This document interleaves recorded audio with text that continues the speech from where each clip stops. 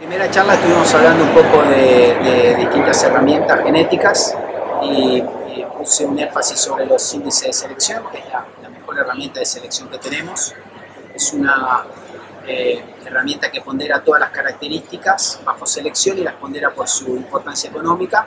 Y algo bien importante es tratar de este, utilizar un índice que se ajuste bien al sistema de producción por supuesto que eh, si uno está en un país como este, España y tiene un índice económico desarrollado acá, es la mejor herramienta que tenemos, pues es un índice que va a ponderar eh, las características por, de hecho, los valores económicos del sistema de producción español.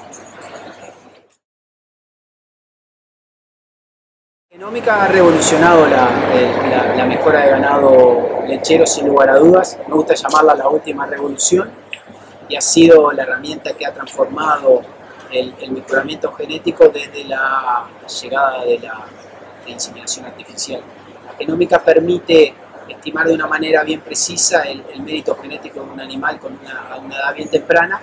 Eso lo que permite es este, aumentar la tasa de ganancia anual lo hace para característica de producción, más o menos la dobla con, eh, el mismo sistema sin genómica y lo bueno que tiene es que lleva tasas de tres o cuatro veces más rápido para características más complejas como son la fertilidad y la, y la salud.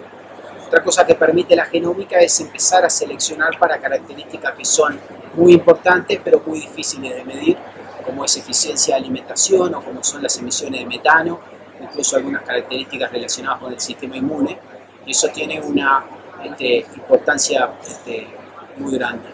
La, genómica, por otro lado, permite no solo este, arreglar problemas del pedigree, permite también hacer un, tracking de los desórdenes genéticos y por otro lado permite de alguna manera minimizar a través de, los apareamientos guiados el, el inbreeding.